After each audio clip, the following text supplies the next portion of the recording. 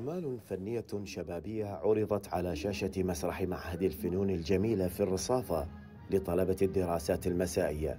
الأعمال تضمنت مجموعة من الأفلام القصيرة المتنوعة تناولت قضايا اجتماعية وأمنية هادفة كان لها صدى مميز لدى الجمهور الحاضر وبشهادة المشرفين عليها. طبعا هو اليوم هو اليوم ختام لمهرجان الثاني عشر بعد كان افتتاحه يوم أمس آه، لإقسام التشكيلي والتصميم والخط والزخرفه واليوم ختامها مسك بقسم السمعية والمرئية بافلام القصيرة وصور آه، ومعرض للصور الفوتوغرافية.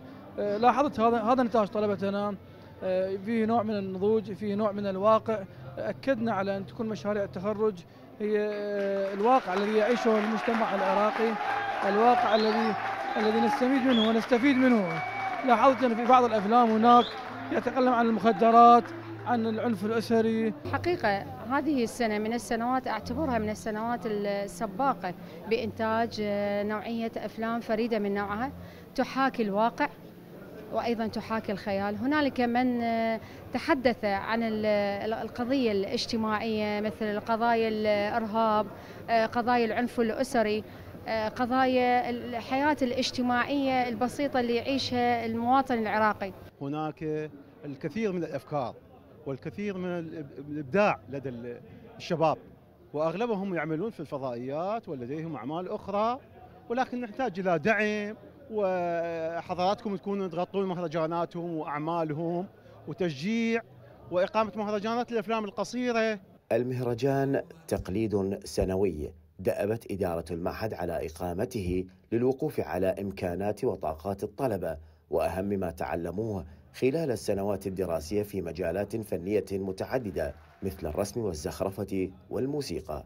هنا بصراحة أنا الطالب هو أي منجز أي إنتاج يطلع من الطالب فهو أنا أشوفه منجز حقيقي يعني. على اعتبار هو طالب معهد يعني. وهذا الإنتاج آه، يعني أنا اليوم اللي شفته وأبهرني بالمنجز الطالب إنه أكو مدخلين الأطفال بالأعمال بشكل عام يعني. وشفت إنه حركة الطفل إنه حركة مو سهلة إنه كمخرج تجيب الطالب تجيب الطفل العفو وتحركه بشكل إنه أنت تريده، أنا هذا أشوفه مو من السهولة بمكان. يمكن 10 أعمال قدمها قسم الموسيقى آه، مختلفة الألوان. ضمنت أغاني تراثية موشحات عزف انفرادي عزف جماعي آه، غناء جماعي كورال آه، والحمد لله ما أدري البارحة كنت ما كنتوا أنتم كان العرض البارحة وأعتقد كان بنسبة جيدة من النجاح. آه، بالحقيقة سعداء بهذه التجربة الفنية اللي فادتنا كثيرا في مجال السينما والإخراج وممكن في قادم السنوات القادمة ممكن نستفاد من أخطائنا باعتبارنا إحنا مبتدئين في عالم السينما وهذه التجربة يعني الحقيقة تجربة مثمرة وجميلة في في اختصاصنا السينمائي والإخراجي. استثمار التجارب الفنية التي قدمها طلبة معهد الفنون الجميلة في الرصافة يمكن أن يؤسس لشركات فاعلة مع المؤسسات الإعلامية والفنية الأخرى لبلورة هذه التجارب وتطويرها كما يمكن الاستفادة منها في المشاركة بمهرجانات عربية وعالمية. لقناة العراقية مصطفى السعدي بغداد.